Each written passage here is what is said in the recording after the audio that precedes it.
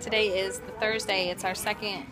It's our second Thursday, but our third weekend. So it's like we're halfway done already. It feels so weird. Um, I don't really have anything exciting that I'm doing tonight while I'm dead. I'm eating um, peanut butter filled pretzels because I didn't have dinner. So that's my exciting dead time tonight. Uh, but Dalton's here. He apparently doesn't say anything. He just waves. and um, my daughter, Cosette, I think she was just meowing or something like a cat. You, oh, you can see. Look, I got double shot here. You're in the mirror. Almost. Were you? Were you meowing? I was woofing. Woofing. Okay. Um, it looks like Emily is being more productive while I'm dead than I am over there. What you knitting? Yeah.